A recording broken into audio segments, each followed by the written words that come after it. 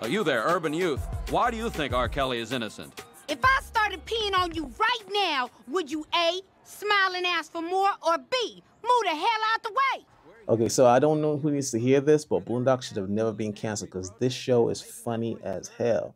I didn't watch the R. Kelly trial, but I imagine this is exactly how it went in real life. In the words of Sister Souljah, an injustice anywhere is an injustice anywhere. Hey there, Huey. Riley. I couldn't help but notice your sign, and I hope you boys aren't too upset about me having to prosecute Mr. Kelly. What did R. Kelly do to you? He's accused of relieving himself on an underage girl on tape. What's the statute of limitations on bedwetting? Why not prosecute me and R. Kelly at the same time, huh? Riley, it was a little girl. Oh, I seen that girl. She ain't little. I'm little. Yes. Gary Coleman's little. Yes. Mini Me is little. Very. And to the best of my knowledge, we all managed to avoid getting peed on so far. But what about the victim? Oh, yes, the victim.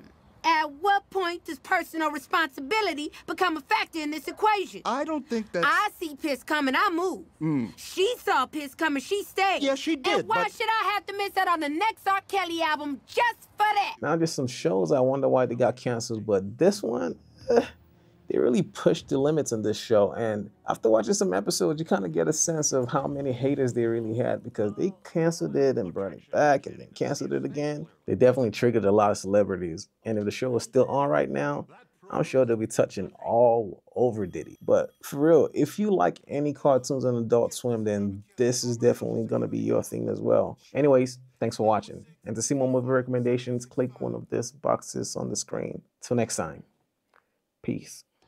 But before you answer that, let me ask America Has Pete ever really hurt anybody?